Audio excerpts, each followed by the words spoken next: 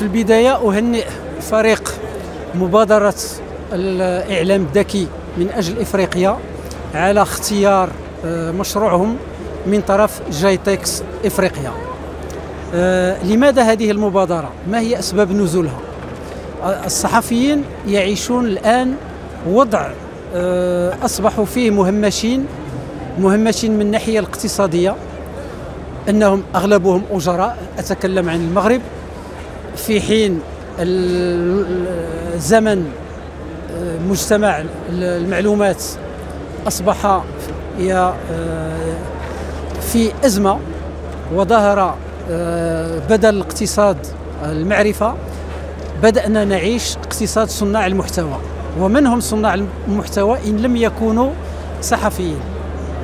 الدور الصحفي رهين.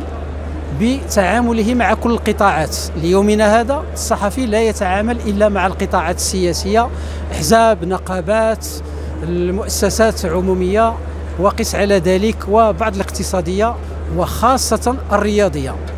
ففي غياب التخصص الصحفي آه، حتى يكون الصحفي صانع لمحتوى متخصص آه، بناء على طلب كيف ذلك؟ كيف يكون ذلك ممكنا؟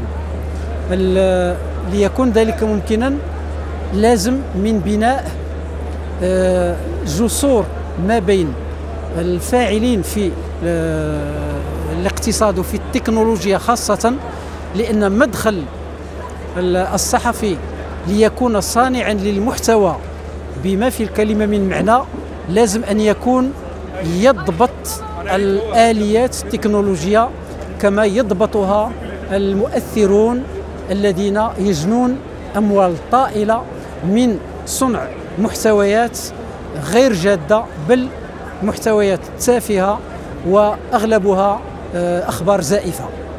فلإنقاذ الصحفي وكذلك معه قطاع الصحافة لازم أن يكون الصحفي متخصصا ويضبط كل آه، تقنيات وكل آه، مصطلحات التكنولوجيا وينفتح على الفاعلين في قطاع التكنولوجيا. الفاعلين في قطاع التكنولوجيا والذين أنتمي إليهم عن طريق فيدرالية مهني تكنولوجي معلومات يعانون من بعد الصحفيين عنهم لأنهم لا يتكلمون نفس اللغة. اذا أصبح من الواجب تقريب المسافة ما بين الطرفين وذلك بترتيب دورات تكوينية آه، تضامنية حتى لا أقول مجانية تضامنية رقمية وبالفعل الفاعلين في تكنولوجيا المعلومات وعن طريق الفيدرالية المذكورة جاهزين ومستعدين. وبدأنا في نهاية هذا الشهر 24 ماي أول دورة تكوينية لفائدة الصحفيين في مجال آه، تكنولوجيا الأداءات المالية والاقتصادية.